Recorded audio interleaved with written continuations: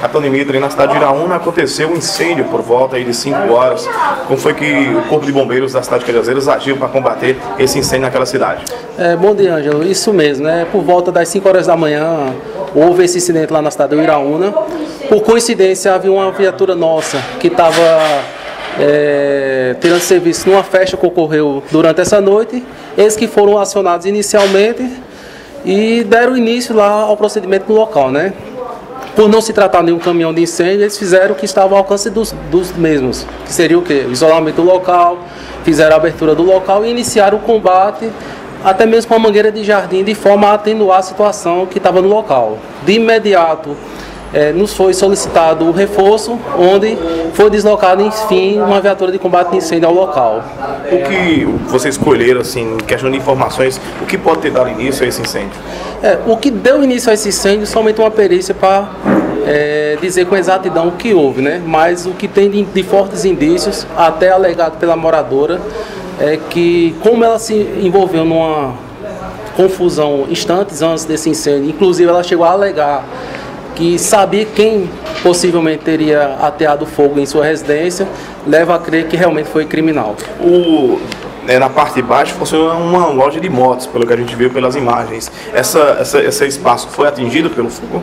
É positivo. Embaixo realmente funciona uma oficina de motos, porém nada é, é, veio acontecendo na parte de baixo. Né? O incêndio ele foi restrito ao primeiro andar da, do prédio, da edificação. O apartamento ficou destruído?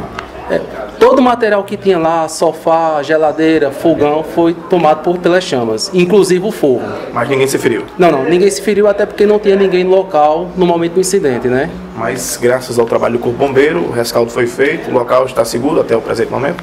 Isso, né? Foi feito o combate né, do, do, do incêndio local até para procurar resguardar é, proteger o máximo de materiais, né, de forma que os danos sejam mínimos. Né, como já foi dito, não houve vítimas no local, nem tampouco o incêndio vai se alastrar para as residências vizinhas. O Corpo de Bombeiros sempre é, cobrindo essas, essas situações, mas graças a Deus só danos materiais desta vez. É, com certeza, né? A gente torce para que esses tipos de ocorrência não ocorram, né? Porque sempre quando ocorre, no mínimo há prejuízos materiais para o proprietário, né? Vindo em alguns casos mais graves, é, ter a incidência de vítimas, né? Que não foi o caso né? Graças a Deus não foi esse o caso dessa ocorrência registrada. Muitos incêndios estão acontecendo é, na cidade de Cajazeiras, também na região, concernente aos matos. Vocês estão sofrendo com essa situação? É, com certeza essa época seca, né? É, que a, a, população do sertão já sofre, que não é de hoje, né?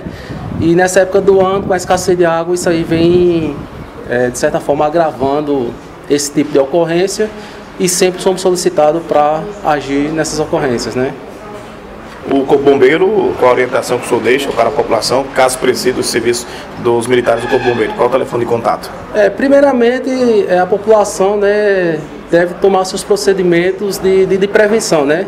Seja em ambientes é, de vegetação, né? Que é o que está acontecendo muito nessa época do ano, como também em suas residências, seus estabelecimentos comerciais, procurar sempre se ater aos procedimentos de segurança.